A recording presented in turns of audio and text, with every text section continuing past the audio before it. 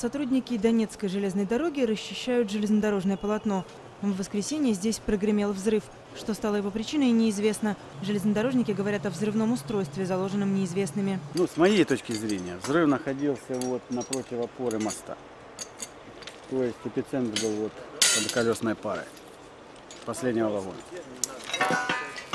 Ну, последнего, который остался в пути лежать.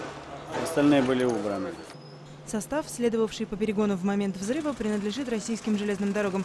В нем было около 60 вагонов. В результате инцидента локомотивная бригада не пострадала, сообщают в РЖД.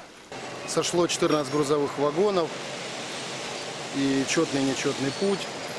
Повреждены, движения никакого абсолютно нет пока. На поврежденном участке продолжают работу ремонтной бригады. Сколько времени потребуется для того, чтобы восстановить движение, неизвестно. Несколько международных поездов пущены в объезд.